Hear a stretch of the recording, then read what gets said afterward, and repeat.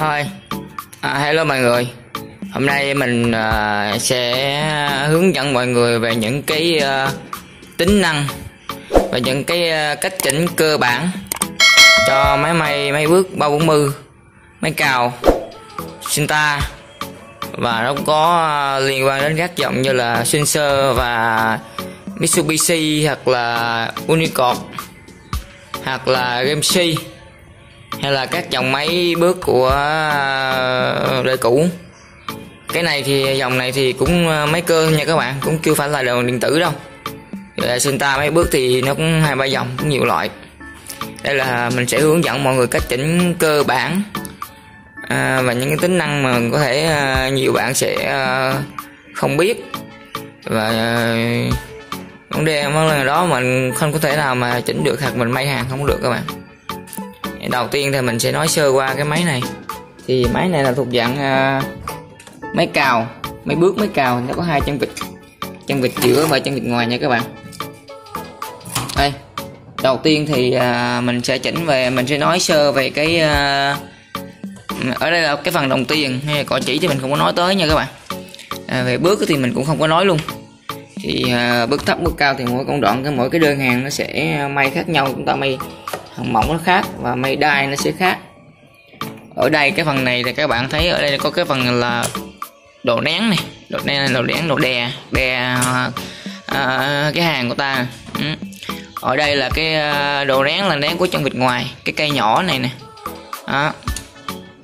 Là đồ nén của chân vịt ngoài đè xuống. Okay, còn cái này là của à, uh, chân vịt giữa. Nó chỉnh tổng co cái ngoài và cái trong nha các bạn mà đó. Rồi. Rồi tiếp theo là cái ờ, phần này. Chúng ta sẽ có con ốc như thế này. Con ốc này nó có tác dụng là tăng đưa răng cưa cái chân vịt này. Chúng ta dùng ốc ờ, khóa số 9 à, chúng ta sẽ ờ, nới lỏng là chúng ta sẽ đưa dồn nó ra trước và đưa ra sau. Thì cái này thường thường là chúng ta sẽ may cái chúng ta bỏ cử viền. Bỏ cử viền thì uh, lúc chúng ta đá nó đụng cử hoặc chúng ta cần cho cái sải bước nó dài hơn thì chúng ta sẽ tỉnh cái mặt ốc này. Nó lỏng nó ra dời nó ra sau. Hoặc là chúng ta đưa nó tới trước xíu một tí để mình ví dụ cho mọi người xem luôn nha. À, đây là con ốc ờ, cái khóa chính này các bạn người chúng ta sẽ nới lỏng con này ra này.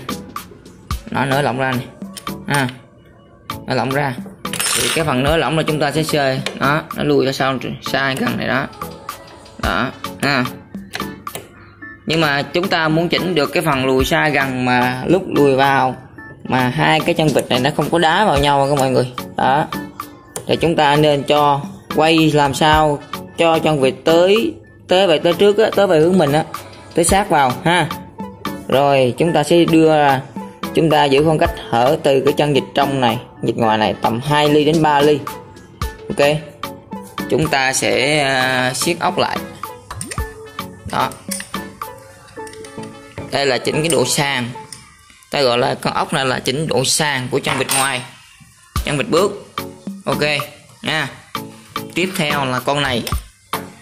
Con ốc này thì các mọi người sẽ biết con này nó có tác dụng gì, nhiều người như anh chị sẽ không biết. Và có thể nhiều anh bảo trì máy có thể là không có chuyên về cái này mà chỉ có chuyên về phần may quần áo. Bên máy bước máy bao lưỡi sách này bao bì các anh sẽ không biết.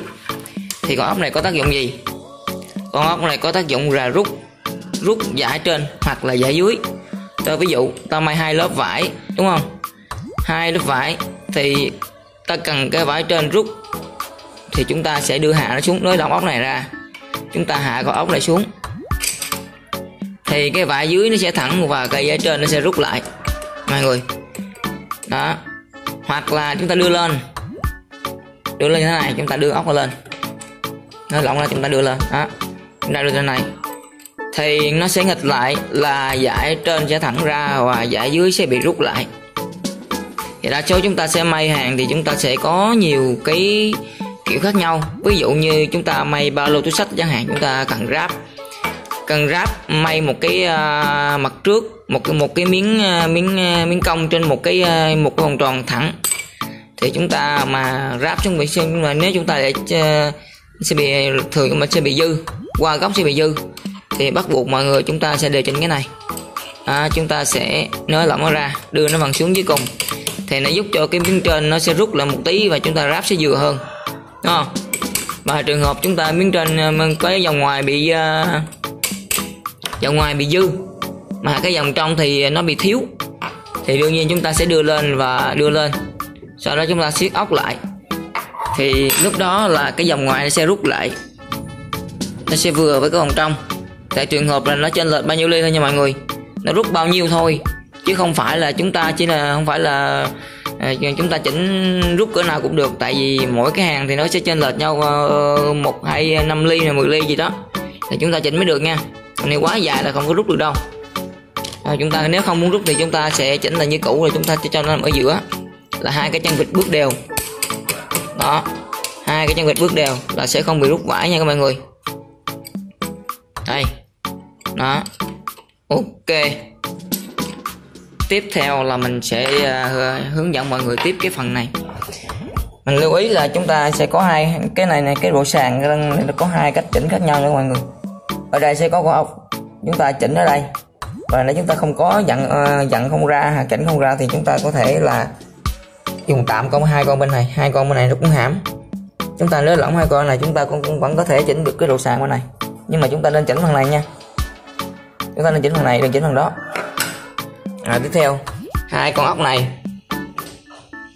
Hai con ốc này như dòng Sinta 640 thì sẽ không có hai con ốc này, nó sẽ có một con thôi. Mà nằm bên trong, chúng ta gỡ cái nắp cao su ra mới có nha mọi người. Đây. Thì hai con này nó có tác dụng gì? Hai con này có tác dụng là chỉnh cam, bước cao thấp. Đó. Ví dụ, người ta ví dụ nè chúng ta đang mai trên dịch ngoài cao. Đây. Đó, dịch ngoài cao này. Mình mở đèn lên nha. Trên dịch ngoài cao.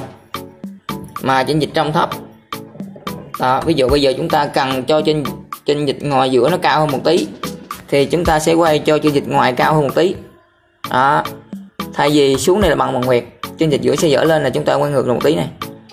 Ngược một tí là cho khoảng cách trên dịch ngoài. Ngoài này cách mặt nguyệt khoảng 5 7 ly chúng ta tùy theo hai 2 ly 3 ly đó chúng ta sẽ cho nó lên. Ngược lại. Sau đó chúng ta sẽ xả con ốc này ra. Và lưu ý con ốc này là ốc số 9 nha mọi người. Chúng ta sẽ xả ốc ra. Đó, xả là chúng ta khi một cái chúng ta xả này xả này. Đó chúng ta xả ra. Thì chúng một khi chúng ta xả ra thì cái lò xo thì nó đi, tự động nó đè cái chân dịch này chúng ta đi xuống. À, tự động nó nhảy xuống nha mọi người. Xong rồi chúng ta siết ốc lại chúng ta sẽ siết lại.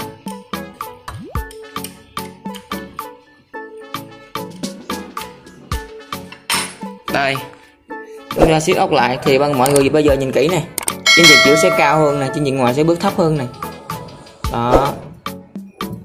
À. đó. Thì trường hợp ngược lại, chúng ta cần cho chân dịch giữa thấp hơn mà chân dịch ngoài cao hơn thì chúng ta cũng quay y chang vậy nhưng mà đợt này chúng ta lần này chúng ta sẽ không cân cân trên dịch ngoài mà chúng ta sẽ cân trên dịch giữa nha mọi người. Đây đó, bây giờ hiện tại chân dịch giữa đang bước ở độ hở từ mặt nguyệt lên tới đế của chân vịt giữa là 3 ly chẳng hạn. Chúng ta cần cho nó bước hai ly thôi chúng ta sẽ nới lòng quay kim quay xuống là ngược lên này nó ngược lên. Ví dụ chúng ta cần cho nó thấp xuống một ly thì chúng ta sẽ quay ngược lên. Quay bu ly ngược lại là vượt bước xuống nè sau chúng ta quay ngược chính ngược lại đó khoảng một ly. Sau đó chúng ta sẽ nới lỏng con ốc này ra trở lại. Khi chúng ta nới lỏng ra là cái chân dịch giữa này tự động nhảy xuống nha mọi người. Đó. sau đó chúng ta siết ốc lại. Chúng ta siết lại nha. Rồi. Thì bây giờ chân dịch giữa nó sẽ bước thấp, rất là thấp luôn mọi người. Thấy không? Đó, bước thấp mà chân dịch ngoài bước cao này. Đó. Tại trường hợp này chúng ta sẽ có nhiều cách may khác nhau. Ví dụ như chúng ta sẽ may qua một cọng đai chẳng hạn. Một tấm vải mỏng và một và một cọng đai thì đương nhiên ví dụ đây là tấm vải đi ha. Đây là cọng đai. Thì khi may kim bước xuống này mà chân dịch ngoài sẽ bước thấp quá là nó sẽ không đi nha mọi người. Thì bắt buộc chúng ta phải cho chân dịch ngoài cao hơn. Đó.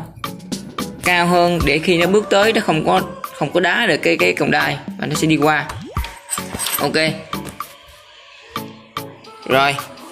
Vậy à, tiếp theo là chúng ta sẽ chỉnh cái phần à, may hàng dày hàng mỏng. Ở đây. Hàng dày mỏng thì chúng ta có hai cách khác nhau. Ở đây nó có một con ốc. Chúng ta nhìn kỹ này à, phần này có một con ốc. Con ốc này mọi người có ốc 12 này. Tại có 12 này có chức năng là chúng ta khi nới lỏng chúng ta đưa xuống. À, thì cam sẽ quay nhẹ hơn càng bước quay nhẹ hơn và sẽ bước thấp hơn là chúng ta sẽ làm cho hàng mỏng ví dụ tôi may vải mỏng thôi, thì chúng ta nên hạ thấp nó xuống. Vải vừa thì chúng ta để ở giữa và vải cực kỳ dày, ví dụ như ta may mút chẳng hạn. Chúng ta nên đưa nó lên, đưa lên cao một tí ta siết ốc lại. Rồi ok.